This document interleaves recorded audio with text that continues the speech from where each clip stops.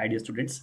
So let's see this question asked in JEE Advanced 2020 paper one physics ये question heat radiation से था thermodynamics से but as such इस question में कोई डिफिकल्टी नहीं थी। इस क्वेश्चन में कैलकुलेशंस uh, बहुत ज़्यादा थी। So many of the good students left this question just seeing the amount of calculation involve बाकी इस क्वेश्चन में एज सच कॉन्सेप्चुअली कुछ भी डिफिकल्टी नहीं है। It's a very straightforward question and one more thing this was a this was a multiple choice question तो इसमें partial marking भी थी. So even if you got one और two options right you were awarded marks for that so let's see how we should have solve this question इसका data एक बार quickly देख लेते हैं. तो इसमें एक बल्ब है जिसके फिलामेंट को uh, हमें ब्लैक बॉडी मानना है और जिसका सरफेस एरिया यहाँ पे 64 मिलीमीटर स्क्वायर गिवन है.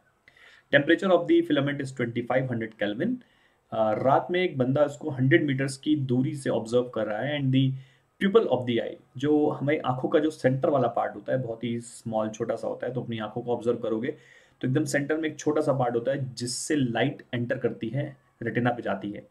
तो उसको प्यूपल कहते हैं तो उसका जो रेडियस है वो थ्री मिलीमीटर दिया गया था। स्टीफेंस कांस्टेंट की वैल्यू दी रखी है वाइंस डिस्प्लेसमेंट कांस्टेंट की वैल्यू दी रखी है प्लैंक्स कांस्टेंट की वैल्यू दी हुई है स्पीड ऑफ़ लाइट की वैल्यू दी हुई है। तो हमें निकालना था power radiate by the filament filament कितना पावर रेडिएट कर रहा होगा। एक रेंज पूछी गई थी, इस रेंज में हमें अपना आंसर देखना है कि है क्या। फिर एक आँख में कितना पावर एंटर करेगा?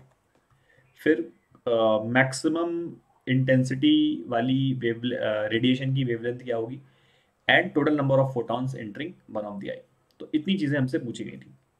सबसे पहले let us calculate the power तो पावर निकालने के लिए वी कैन स्ट्रेट फॉरवर्ड से दैट स्टीवेंस लॉ से बोल सकते हैं ई ए सिग्मा टी की पावर फोर पावर होती है। Power emitted per second emissivity one हो जाएगी क्योंकि ब्लैक बॉडी है। Area sixty four m m square था। तो sixty four into ten to the power minus six क्योंकि मिलीमीटर स्क्वायर में दिया गया है। सिग्मा हो जाएगा five point six seven into ten to the power minus eight I units और temperature twenty five hundred kelvin की पावर फोर ठीक है? इसको अगर अपन सॉल्व कर लें मल्टीप्लाई कर लें तो ऐसे ही कैलकुलेशन काफ़ी गंदी थी। बट इसको अगर अपन मल्टीप्लाई करें, सिर्फ़ मल्टीप्लाई वैसे करना है तो ये आती है value one forty one point seven five watts and option A if you see तो पूछा गया था रेंज 642 से 645 वॉट तो clearly option A was wrong okay now radiate power radiated power entering into one eye of the observer तो एक आँख में कितना पावर रेडिएट हो रहा है? और 100 मीटर्स के डिस्टेंस से हम ऑब्ज़र्व कर रहे हैं। तो if you see let's say this is the bulb तो इसको, इस बल्ब का ये फिलामेंट अपन अज्यूम कर सकते हैं। तो यहाँ से जो भी पावर रेडिएट होगी तो ये एक स्फेरिकल रीजन में ये मूव करना शुरू कर जाएगी। तो जब 100 मीटर्स के डिस्टेंस पे ये जो पावर पहुँच चुका होगा, जो एनर्जी पहुँच चुकी होगी तो अगर मैं 100 मीटर्स डिस्टेंस पे इंटेंसिटी ऑफ़ दी ये जो लाइट है, ये कैलकुलेट करूँगा तो इंटेंसिटी की वैल्यू अपन लिखेंगे जो टोटल पावर निकली थी, जो यहाँ से हमने कैलकुलेट की है वन फोर्टी फाइव इस पावर को अपन डिवाइड करेंगे four pi into hundred square से राइट ये वो इंटेंसिटी है लाइट की, जो कि हंड्रेड मीटर ट्रैवल करने के बाद लाइट की जो इंटेंसिटी बचेगी, वो हमने लिख दी। अब अगर अपन सोचते हैं कि यहाँ पे एक ऑब्जर्वर है जिसकी ये प्यूपल है प्यूपल का radius three M M square था तो अपन बोल सकते हैं कि भाई टोटल मतलब कितना पावर इसको एक आँख में एंटर कर रहा है। तो पावर सॉरी इंटेंसिटी इनटू ये प्यूपल का एरिया तो power received by the eye one one eye सिर्फ़ एक आँख से पूछा गया था। तो अपन क्या करेंगे? इंटेंसिटी को मल्टीप्लाई कर देंगे एरिया ऑफ़ द प्यूपल से।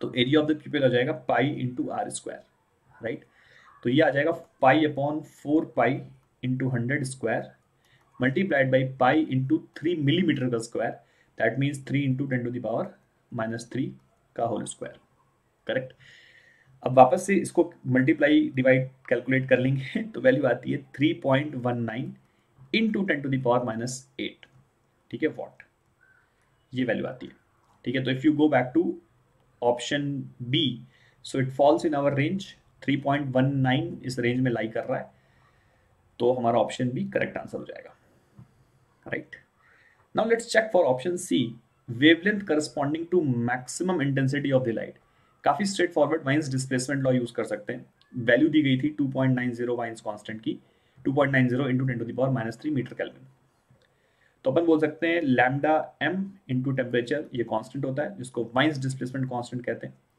तो लैमडा हम, हमें निकालना है, ठीक है? वाइंस डिस्प्लेसमेंट की कांस्टेंट के लिए two point nine zero into ten to power minus three दी गई है।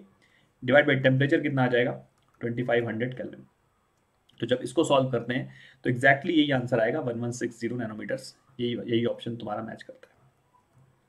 Right hence option C was also right ठीक है? Let's check for option D average wavelength of the emitted radiation हमें assume करनी थी 1740 नैनोमीटर्स तो एवरेज वेवलेंथ अगर पता है तो हम फोटोन की एवरेज एनर्जी निकाल सकते हैं। Now the total number of photons entering per per eye मतलब एक आँख में कितने नंबर ऑफ़ फोटॉन्स एंटर कर रहे थे ये हमें कैलकुलेट करना है।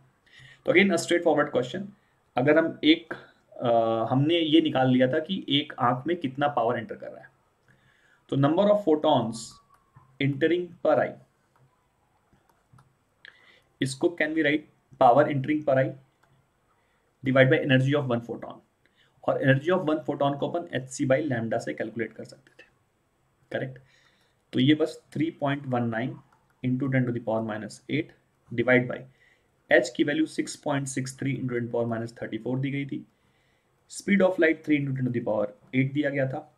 ठीक है? और लैमडा की वैल्यू एवरेज दी गई है one seven four zero nanometres तो यहाँ पे one seven four zero into ten to the power minus nine correct जब इसको सॉल्व करते हैं तो ये वैल्यू आएगी two point seven nine into ten to the power minus eight sorry plus eight two point seven nine to power ten to power eleven my bad eleven आएगा वो।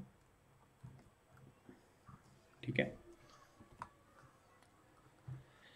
तो इतने number of photons per unit eye enter कर रहे हैं तो ये of course इसी रेंज में लाई कर रहा है and hence option D is also right so I hope guys you would have understood there was nothing difficult in this question as I told you but yes calculations were what made this question slightly you know long और boring so I hope you would have enjoyed this solution that's all thank you